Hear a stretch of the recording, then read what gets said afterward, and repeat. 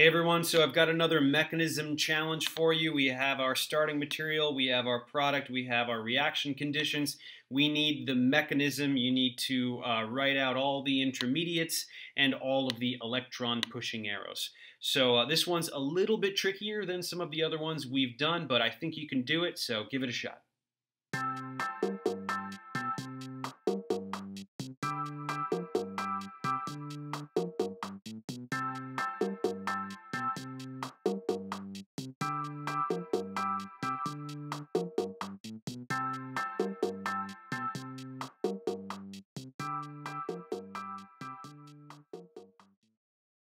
Okay, so we've got three sets of reaction conditions, or three three uh, reagents that we're throwing at this substrate. Um, and so, what are we going to do? Well, we uh, so number one, we've got this uh, this this uh, compound here. This is ionic, right? So we've got a plus charge there, and we've got a minus charge there. So uh, this negative charge is going to go grab something. We're going to go grab a proton. So where's the most acidic proton? Well, that's actually going to be this uh, implied hydrogen right there. Right, there is also an implied hydrogen there, but uh, these bromines withdraw some of the electron density from that carbon, making it more acidic. So let's have nitrogen go grab that, and we're going to go and uh, kick that up here. So let's draw the result. We've got that, and we've got that. And we've got that. And then uh, because nitrogen has been neutralized, right, uh, the, the lithium can no longer complex with that, so lithium is going to coordinate to the oxygen instead. So we've got OLI, right, the oxyanion, Li plus, they're going to uh, interact. So there we are there. Um, so that's reaction one. Now let's move on to number two. We've got N-butyl lithium. So what is N-butyl lithium? We did learn about these organolithium reagents over in the organic chemistry playlist.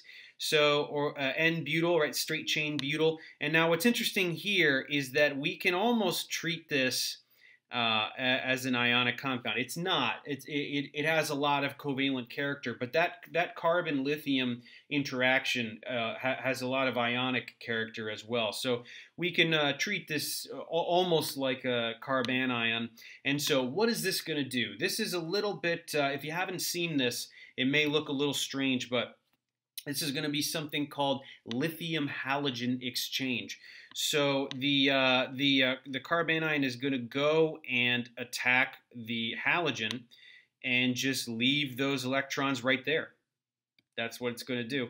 Um, it's it has to do with the polarizability of that carbon-bromine bond and just the sheer reactivity of this uh, this carbanion. Right, this is an extremely reactive uh, uh, compound. So we are going to do our lithium halogen exchange. Uh, let's get this thing on there. And so we are left with, uh, here's the other uh, bromine, and we've got that negative charge there. Now, uh, it does not like this negative charge, and so it's going to try to do something to get rid of it. And so what ends up happening here, now again, this is the second thing that's going to be a little bit strange uh, if you haven't seen this before, but we've uh, the way that this is able to neutralize that negative charge is by this bromo group just leaving. So we are going to, now let's jump down here. So what does that leave? That leaves us with something quite interesting. Uh, that is going to leave us with a carbene. So this is a carbene. Now we did talk about, we did two tutorials on carbenes over in the OChem playlist. So if you haven't seen those and you've never seen a carbene before, this is going to look bizarre. But uh, so I highly recommend uh, going over there and checking out those tutorials if this is new to you because uh, there's a lot to talk about with carb with carbenes. But uh, in short, um, it is a, it is a neutral carbon species, but it is an electron deficient species. This carbon does not possess a full octet. Uh, it, it just has these two sigma bonds and then that lone pair. Um, but it is neutral because these two electrons belong to the carbon. It is showing four electrons in this Lewis dot structure, one per covalent bond plus the two from the lone pair. So uh, it is neutral, but it is electron deficient and highly reactive. Carbenes are highly reactive species, and what they like to do is they like to rearrange, and they rearrange in some very interesting ways. So what this one is going to do is this lone pair, right? It wants to go coordinate to something, but it, it needs to regain an octet somehow. So it is going to uh, go right there and form that triple bond, and then this carbon is actually going to go and coordinate to that one. So that may look a little weird, but that is what is going on here. So we are going to, uh, uh, yeah, so now what happens, yeah, we've got that. So it's starting to look more like the product. And so this is a bit odd, but um, right, this, uh, uh, right, this carbon is now over here.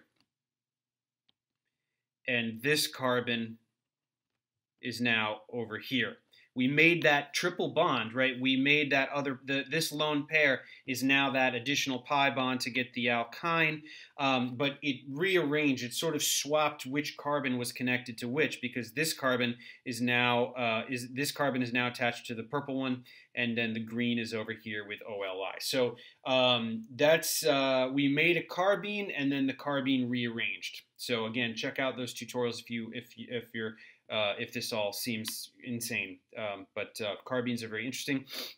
So now number three, uh, we've got this TIPS OTF. So uh, as you get a little further in organic chemistry, if you haven't seen this, you, you got to just start memorizing these these acronyms. Um, so triisopropyl silyl O trifle. So uh, what is that? Uh, so triisopropyl silyl. Silyl is silicon. So we've got silicon. Triisopropyl is, uh, that speaks for itself, three isopropyl groups.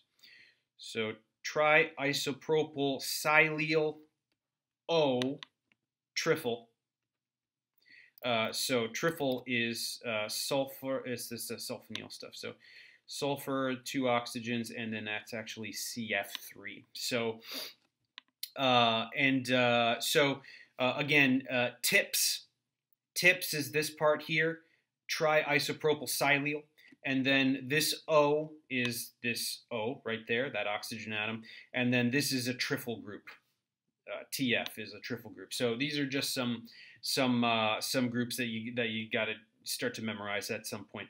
So what is going to happen here? We've got um, we've got O. It's essentially O minus, right? This uh, it, it, still is an oxyanion. It's coordinated to lithium, but it, it's still an oxyanion, and therefore it's quite reactive. And what this is going to do is it is going to attack silicon and kick off O triple.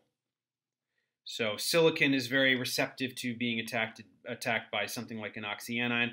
And then this uh, group is, is very happy to go because this oxyanion is going to be, that negative charge is going to be delocalized. We've got these two other uh, oxygens that are going to share the uh, negative charge there. So what did we do? We put the TIPS on the O. So that's why there's O TIPS right now. And that's basically just a protected uh, oxygen atom. So uh, presumably, maybe we're not done here. This may have been the beginning of a grander synthesis, and now uh, perhaps we're going to work with this alkene over here or something like that. But um, we we did want to protect that oxygen. So this was a little tricky. Let's just review again really quickly what we did. Um, we know that this nitrogen atom is very reactive. It's very, very, very basic. It's going to grab a proton, and we decided that this was the most acidic proton because of the effect of having these bromines uh, right here withdrawing electron density from that carbon. Uh, so we got that one, and then uh, made the alkene, or where we put the pi bond there, kicked that up, um, kicked this pi bond up onto the oxygen to coordinate to lithium. Then we reacted with N-butyllithium, and the N-butyllithium did the lithium halogen exchange. So this attacked the bromine and then we left the uh, anion right there on that carbon. Then this was the probably the tricky part if you haven't seen carbenes yet, but this bromo this bromide uh, left right. It left the bromine atom with the electrons in that sigma bond because uh, and it did that in order to neutralize this negative charge, right? Because uh, if it if this carbon loses that uh, electron, it's contributing to that bond. It will neutralize, and so we got our carbene and then the carbene did this interesting rearrangement where the lone pair formed the triple bond, made that additional pi bond, and then this rearranged here, this carbon ended up uh, uh, coordinated to that uh, purple carbon there. So that's how we got our alkyne with OLI, and then we reacted with TIPS O trifle, and we uh, the oxyanion attacked silicon, kicked off O trifle, and we put the TIPS on the oxygen. So that got us to our product. So that's a nice little three-step uh, mechanism, and uh, that's it.